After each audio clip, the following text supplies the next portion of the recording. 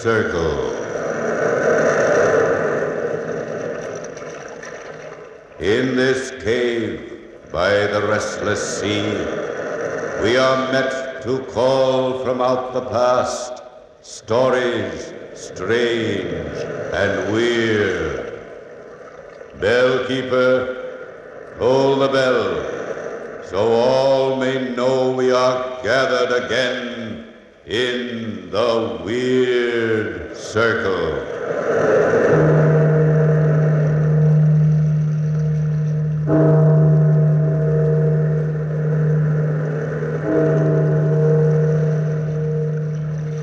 Out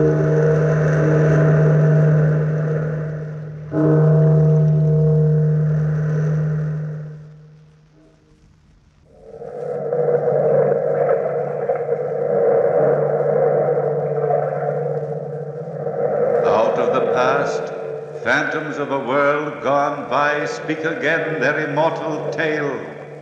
What was it?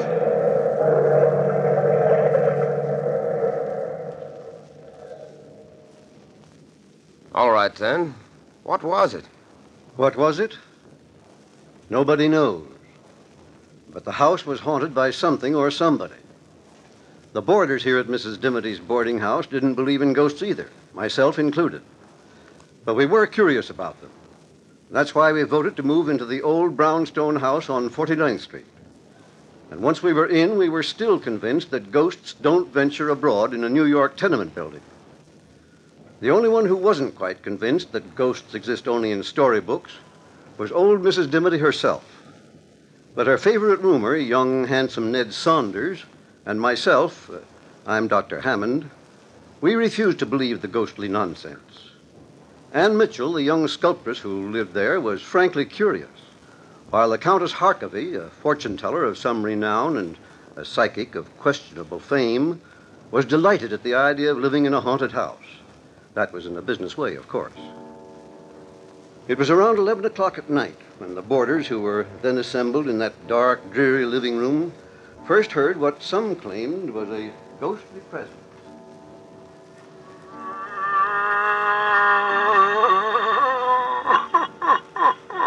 Listen to that, Dr. Hammond. I hear it, Ned. It's an uncommon sort of sound for the wind. That is not the wind, Dr. Hammond. It is the cries from the spirit world. I feel it in the marrow of my bones. Oh, say, Countess, can't you feel things in a more comfortable place?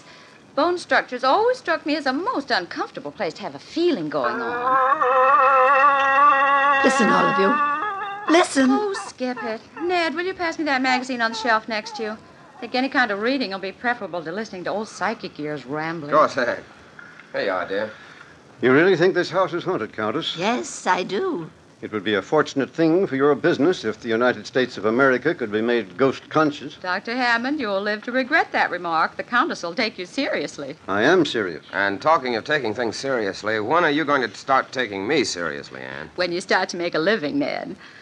Oh, someday I hope I won't have to try and sell my sculptures. All art is conceived out of the fires of struggles. Well, I'm tired of struggling. Oh, if I could just create something out of the ordinary for an art exhibit, I could make a couple of hundred dollars. I've been working three months for an idea, and I haven't done a thing. My poor dear Anne, as long as you doubt the extraordinary, how can you create it? She's got you there, Anne. Yes, she has, Dr. Hammond. Well, what would you suggest as a good subject for Anne to sculpt, Countess? Well, a denizen of the other world, perhaps? Oh, sure. That's rather a hot place for a girl to venture in order to sculpt the devil, isn't it? Don't speak so lightly of His Satanic Highness. No one knows where the devil's hand may be next. How about sculpting me, Anne? I'm an extraordinary young man. That you are, darling. Extraordinarily broke, at any rate. Oh, the woes of the world revolve on that ugly stuff called money. People take money much too seriously, Ned. Well, frankly, Dr. Hammond, if I had some of it, I wouldn't take it at all seriously. I'd scatter it around the world like a veritable windmill. Oh, frivolity. That's your trouble, my dear friends. Frivolity. You feed on it. Here in this very house is a poor earthbound spirit, and yet you ignore it. Come, Countess, you don't expect us to take it seriously. I expect nothing. What do you expect us to do? Call the spirit in and ask him to sit for me? Possibly, Anne. Possibly. Come, come, Countess, you're joking. I have never been more serious in my life. I think we ought to hold a seance and command the spirits to enter the room. That would be interesting, at least scientifically so. Oh, nonsense, Doctor. Besides, Mrs. Dimity'd never stand for it. Ever since she moved us into this house, she's been scared stiff of the very idea of spirits. Have you seen the amulet she's been wearing? Yes. she carries it around like a sword. Why don't we ask her? Oh, we were just talking about you, Mrs. Dimity. Oh, dear. I tell you, I, I just can't stand being alone in my room. I just know something was in there with me, Anne. I, I just know it.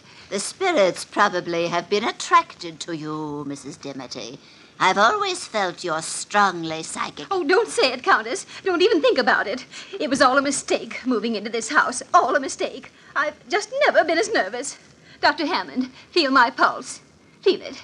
It's practically non-pulsed, so to speak. Well, I wouldn't take it seriously, Mrs. Dimity. We all know there are no such things as spirits. You see, we've been talking about the ghost for so long that at times we half believe, but that's purely imagination. It wasn't imagination at all, Dr. Hammond. You know very well there are only five of us living here. You four were downstairs, and I was alone upstairs, and oh, I did hear footsteps in the hall. I, I opened the door, and I felt something cold touch me. Ah, you see, I knew it. Oh, listen. Oh, oh, it came from upstairs. Listen, all of you. Ah, and was that also the wind, Dr. Hammond? I don't know, Countess. What do you think, Ned? I think the Countess' idea of a seance is a good practical suggestion. I'm all for it. A seance. Oh, dear. uh, yes, let's give it a try. Well, we're all agreed. yes, of come on, let's. I think it's a good idea. You're in charge, Countess. Now tell us what to do. Well, now, for the first thing, bring your chairs into a circle, please. Oh, dear. I think someone's finding this show. I, I. Now, hold hands. Will someone turn off the lights? I'll get the switch. Good. Now we're in the dark. Oh, Quiet, please. Quiet while I summon the spirits.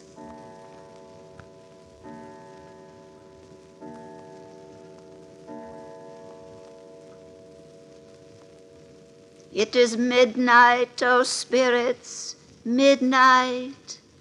Enter the portals of our room and speak to us. Speak to us. We are gathered to commune with you who have passed on. Withhold not your secrets. Speak. Speak. It is I, Countess Harkavy, asking you to descend to this mortal plane. Answer me. Answer me. If, uh, if my Uncle Ezekiel's in the room and wants to talk to me, I'd talk to him, Countess. Yes, Mrs. Dimity. Ned, stop squeezing my hand. I'm not squeezing your hand, Anne. Or whatever you're doing, stop I'm doing not doing anything. Ouch, doggone it. What's the matter with you, Anne? You're so coy, pinching me now. I'm not pinching you. My hands are in my lap. Well, who's ever sitting next to me? Stop it. Dr. Hammond, I'm sitting across from you, Anne. Mrs. Dimity. Oh, dear. I wouldn't have the courage to squeeze anybody's hand at this point. Ouch! Well, whoever it is, turn on the lights, somebody. Turn on the lights. No. Somebody's got hold of my no, hand. don't turn on the lights. The spirits have entered the room and are attracted to you, Anne. To you. Oh, please, please turn on the lights, please. I'll do it, Anne. I'll do it. Oh, let go. Let. Oh, there. Oh, oh, There's nobody sitting next to you. That's a vacant chair. but I felt it. Anne, did you imagine it? Imagine what? That somebody squeezed my hand? I imagine nothing. Look. Look at my hand. And tell me that's imagination. Let's see it, darling. What? Dr. Hammond, look. Hmm? Her hand is bruised. Hmm, yes, it is. Pretty badly bruised. Countess, where were you sitting? Exactly where I'm sitting now, Dr. Hammond, and I haven't moved. You had your chance to do something extraordinary, Anne, but you muffed it. A pity is all I can say. A great pity. The seance is ruined. But, Countess, wait a minute. What for? To try another seance and have you become hysterical all over again? Good night. Dr. Hammond, is it possible that I really was holding the hand of something or. Anything's possible, Anne, but not very probable. Oh, dear. Oh, dear. I said not very probable, Mrs. Dimity. I think perhaps the Countess has been playing a trick on all of us. It's a cute trick, Doctor. A pretty difficult one. If she wasn't playing a trick, she shouldn't have been so upset when you turned on the lights, Ned. Well, Doctor, I think you've got a point there. Nothing like a good dash of logic to take the cold chills out of my spine. Well, how could the Countess do it, Doctor? Well, Mrs. Dimity, psychic phenomena is the Countess's business. After all, she makes a living out of calling imaginary spooks from the outer world. I don't think it's very nice of us to try and pry into her secrets. I hope you're right, Doctor. I do hope you're right. Well, I wouldn't worry, Mrs. Dimity. Well, I'm going upstairs to bed. I've had enough spooks to last me for years. Oh, wait for me, Mrs. Dimity. I'll go up with you. Oh. Good night, Ned. Good night, Anne. Good night, Dr. Hammond. See you in the morning. Good night, my dear. And don't worry about the spooks. They're purely harmless make believe. Oh, dear. I'll never sleep a wink, Anne. Well, Doctor, what's the tongue in the cheek look? Oh. Ned, I'm afraid we've had our first touch of real psychic phenomena tonight. But you just said I that... didn't want to frighten the women. And you believe this house is haunted? Haunted? Mm, well, I don't like the phrase, but in essence, that's the idea. I was wondering if you'd be interested in trying an experiment with me tonight. Certainly, Doctor, anything. Well, suppose you and I spend the next few nights down here. We'll turn off the lights and wait. Just wait. Perhaps we can invite some trouble. We waited that night through without sleeping, but nothing extraordinary happened, except for the fact that Mrs. Dimity's rocking chair kept rocking all night long, creaking and squeaking as it moved. But the wind could have been responsible for that. The next night and the next and the one after that, we kept our nightly vigil, creeping up to our rooms like thieves just before daylight broke, so that nobody would suspect our secret experiment. On the fifth night of our wait, we heard the rocking chair creaking, creaking, creaking. Doctor, Yes, Ned? that rocking chair couldn't be moved by wind tonight. There isn't a breath of air stirring. I noticed that, Ned. I wonder. Listen. Yes, the creaking stopped. Same as usual. I'll try to get some sleep. I can't. I'm as nervous as a cat over this whole thing. Yes, I'm jittery, too. Ouch! Let me. What's the Why, matter, you- Ned? I don't know. Somebody's attacked me. I... Help me, Doctor. Help me. I.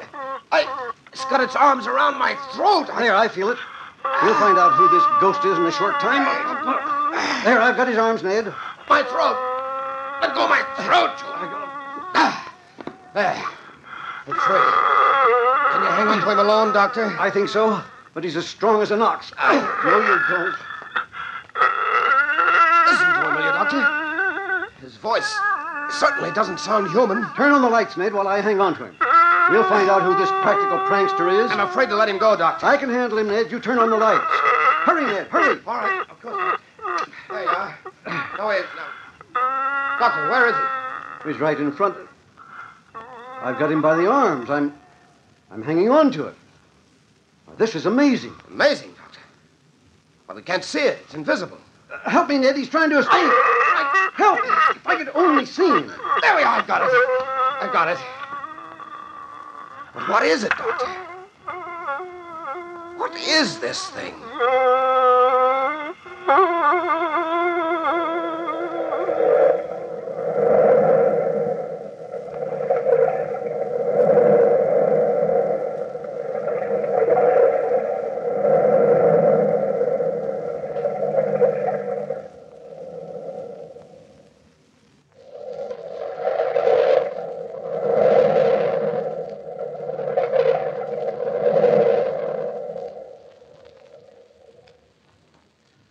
What was it?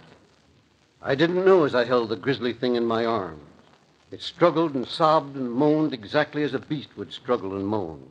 An invisible beast. That was the horror of it. An invisible beast. I sent Ned to the basement of the old brownstone to get some stout rope. At least we could prevent this horror from escaping. That's what I thought then. Well, Ned returned shortly from the basement and opened the door. There you are, Dr. Hammond. Oh, quickly, Ned, bind its legs. I, I can't hang on to it much longer. Not as young as I used to be. All right, Doctor, I'll manage. Somehow I try to hold him on the floor. Yes, yes, of course. Uh, there you are, Ned. Now, quickly. Its feet are still for the minute. There. I've got the rope about them. Look. Huh? A perfect loop around nothing but empty air. Hold him and I'll bind the rope around Oh, quickly, Ned. There we are. That covers his feet. Now I'll bring it up here and around his legs. Here, give me the rope and I'll bind his hands. All right. We're getting him bound up like an Egyptian mummy. There, that does it. Ah, what a relief to be able to let that awful thing go. All right, I'll take the rope now, Doctor, and bind it to this chair. He won't get away now, I'll guarantee that. It isn't very large, is it? No, about the size of a small boy. Yeah, But what is it? Have you ever encountered anything like this before? Frankly, Ned, never. Look at my hands, bitten and bruised. I wonder if I'll ever be able to move them again. What are we going to do with the darn thing now? I don't think that's our responsibility, Ned. I think we'd better call the boarders together and let them in on the secret. Would you like me to get them, Doctor? Uh, yes, wake them up. But don't tell them why. Just ask them to come down here, and I'll throw this rug over the chair so that they won't see the rope right away.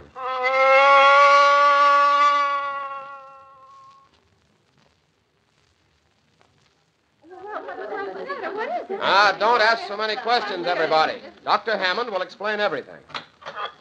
Oh, good evening, Dr. Hammond. Have you possibly discovered that psychic phenomena does exist? Come in, Countess. Come in, everybody. Don't be afraid, Mrs. Dimity. What's that? I'll explain it in a minute. Explain it, Dr. Hammond? Uh, sit down, everybody, please. Uh, no, Mrs. Dimity, not in the rocking chair. Oh, dear me. I'm afraid we're in for a revelation this evening. Uh, Ned, please close the door. Strange are the ways of the world. Yes, Countess, the ways of the world are very strange. Mrs. Dimity and the Countess has been correct about this house. There is something in it. Oh, what do you mean? There's nothing to be frightened of, Mrs. Dimity. Oh, spirits are often kind. Indeed, they're friendlier than many mortals. This isn't exactly a spirit, Countess. What do you mean? Exactly what I say. It's a beast of some kind. Oh, the doctor, is it in this room? Mrs. Dimity, please. Yes, Anne, it's in this room, in that rocking chair. I threw a rug over it. Oh, unfortunate spirit. If you wish, Countess, remove the rug. Yes, of course. Why, why, where, where is it? It's there. You can see the ropes being held in place by it. What kind of a hoax are you trying to play on me, Dr. Hammond? It is not a hoax. There's a living, breathing something bound in that chair, but it's invisible. Oh, why, why, that's incredible. It's more than incredible. Would, uh, would you mind if I touched it? I don't see why I should. It's not my beast. The problem is, what are we going to do with it? What do you suggest, Mrs. Dimity? Mrs. Dimity! Oh, she's fainted, Dr. Hammond. I'll get her smelling salts right here in the desk drawer. Oh, I felt it. I felt it, Anne. I felt it. A captured spirit. I must tell my co-worker, Dr. Zarcox, right away. He'll be so thrilled, so thrilled. I'm not sure that we ought to tell anybody about it. Are you, Doctor? Uh, Ned's quite right. We should not. Oh, but Dr. Zarcox is the only living person constantly in touch with the spiritual night and day. Day and night, constantly. Smelling salts should be in here someplace. Oh, here they are. Until we find out exactly what it is, I don't think we ought to divulge the secret. Heaven knows what we've stumbled into. You're right, Ned. Here, Mrs. Dimity, take a deep breath of this. And how do you propose going about finding out what it is? Breathe deeply, Mrs. Dimity. Oh. Well, I was thinking it might be possible for Anne to make a plaster cast of it. Oh, that's a gay idea, Ned. Breathe deeply, Mrs. Dimity. You'll be all right. That's quite a good idea, as a matter of fact. No, you'll hold it while I make a cast, huh? If it happens to bite me with a pair of invisible teeth, that'll be my word. No. No, being a doctor, I shall use a little chloroform and put it to sleep for a while. We'll be able to make a perfect cast. Mrs. Dimity, are you all right? Oh, I'll never be all right again. Well, Anne, are you willing to give it a try? Oh, I suppose so, Ned. I'll prepare the plaster right away.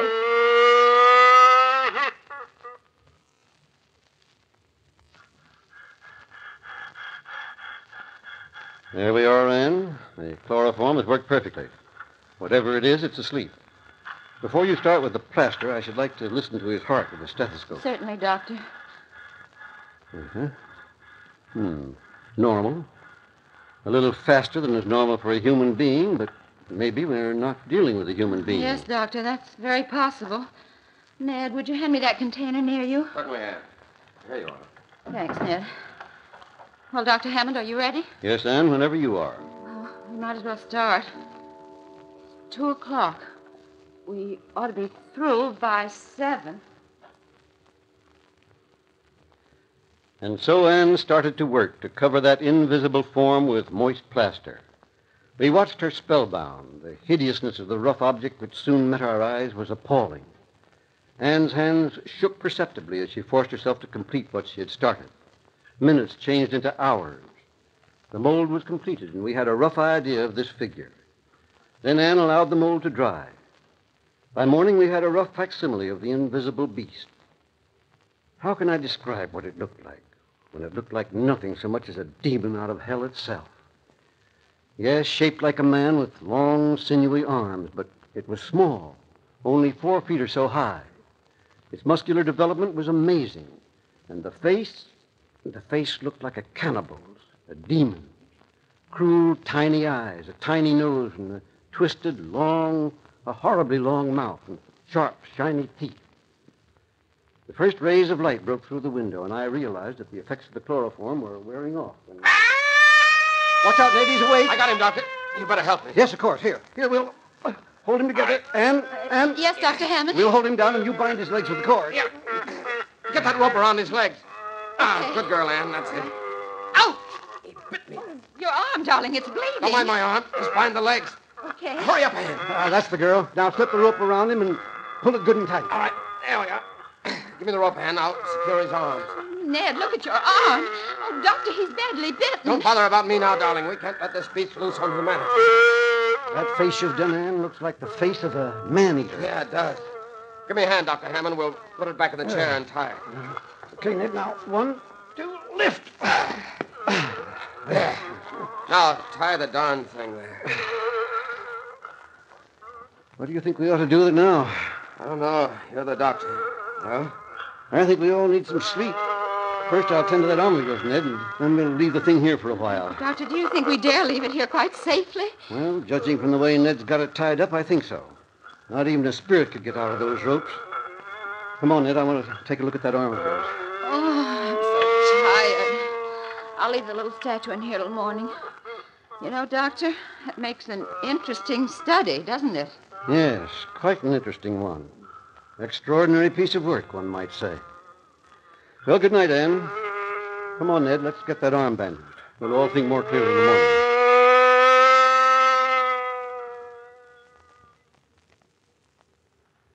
We thought we could think more clearly after some sleep. And so the days went by. Ned and Anne and I stayed with that invisible beast constantly. I took test after test. Its heart condition, its breathing, every test I took baffled me completely. For this invisible beast reacted to every test exactly as a reptile would react. Or to be more specific, a python, a type of snake which swallows an animal or a man whole and then digests it. As the days passed, we realized that since this was living matter, it must eat. We tempted it with every kind of food imaginable, tried force feeding it, but the animal never swallowed one bite of food. And then one evening, all of us were collected in the living room when those horrible sounds started. Oh, I tell you, Ned, I, I, it's hungry. Anne, darling, we've tried feeding. But you've got to get it out of this house. I can't take it any longer. Capturing a spirit will evoke the anger of the gods. My advice to you is to let it go. That's not very good advice, Countess. Whatever this is, it would be fairly dangerous loose.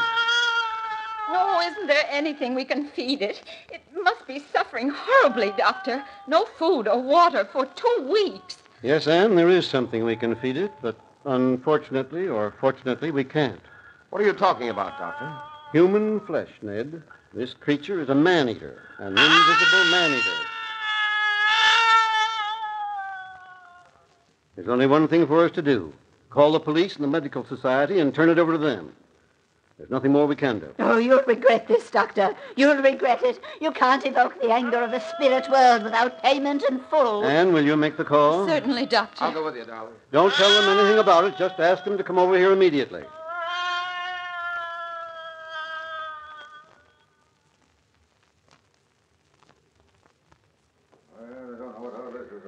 And so, gentlemen, Anne called you and brought you over here. I've told you the complete story of the monster from the very beginning. Well, Dr. Hammond, as a member of the police force, I don't mean to doubt you. But where is this invisible monster? It died of hunger ten minutes before you arrived, Sergeant. Well, where is it? On the floor, here, next to my foot. Huh? You can feel it even if you can't see it. Here, put your hand down here. All right. Yeah, Sergeant, feel this. It feels like a dead man. I tell you it does. Look at that. Sure, Doctor. What kind of a trick are you trying to play on us? Trick, Sergeant? Take my word for it, it's no trick. You felt it yourself. Ah, many people know how to make a mass of material appear invisible. Chemistry can give you a lot of explanations of that kind of a hoax. It's no hoax, gentlemen, on my word of honor. It's no hoax. Uh, tell us a better story. Come on, boys, let's get out of Yeah, here. get out of here. We enjoyed your fairy tale, Doctor, but we can't swallow that one But, whole. gentlemen, ask any one of us in this room. I swear to you, it's the truth. Look in the corner at that statuette. That's an exact replica of the invisible beast. Ah, now I get it. You're trying to get some free publicity for the art exhibition at the museum. No, gentlemen, I made that plaster cast myself from the invisible monster. Dr. Hammond's telling you the truth. Oh, yeah? Well, if it's the truth, what was it? What was it? Frankly, gentlemen, I don't know what it was.